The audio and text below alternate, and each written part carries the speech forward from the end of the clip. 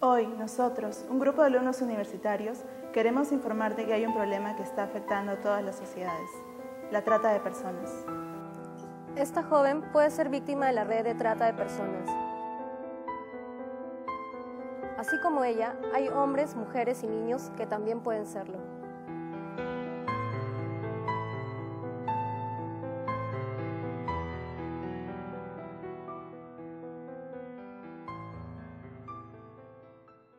Jóvenes que en búsqueda de una oferta laboral para cubrir sus necesidades terminan ejerciendo la prostitución en contra de su voluntad.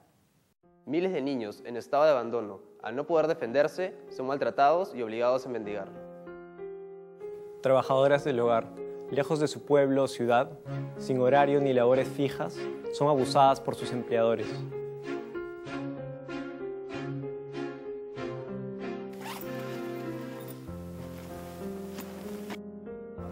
Hombres y mujeres que viajan al extranjero con promesas de empleo son despojados de sus documentos y forzados a trabajar en lugares clandestinos.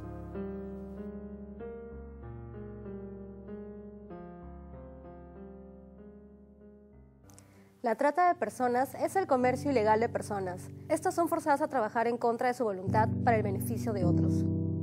En el Perú, sus principales propósitos son la explotación sexual, la mendicidad obligada y la explotación laboral.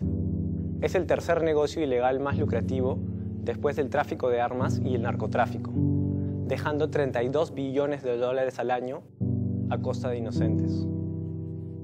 La trata de personas opera de la siguiente manera. Primero, captación y traslado.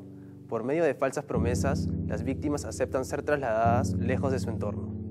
Segundo, el engaño y la privación de la libertad. Las víctimas son atrapadas y retenidas por medio de falsas deudas, chantajes y amenazas.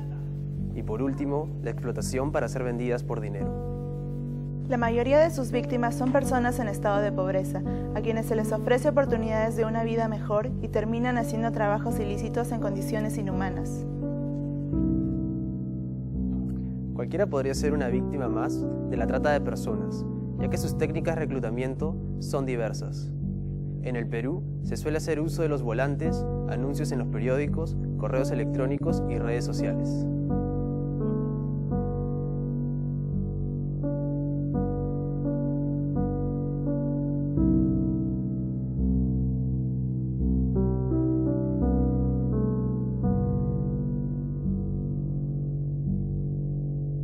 La mayoría de las víctimas no proporciona fácilmente información, debido al temor y al abuso que han sufrido a mano de sus opresores. No cuentan con documentos de identificación. Han sido desarraigados de sus comunidades, familias y lugares de origen. No tienen ningún tipo de control de su dinero o poder de decisión sobre sus acciones. Aún estando en público, se encuentran permanentemente vigiladas. Todos podemos contribuir a combatir esta forma moderna de esclavitud. No te quedes de brazos cruzados. Teniendo en cuenta esta información, tú puedes ayudar a prevenir, reprimir y sancionar la trata de personas. No más trata de personas. No a la esclavitud moderna. Comparte este video para que más gente conozca de esta grave situación.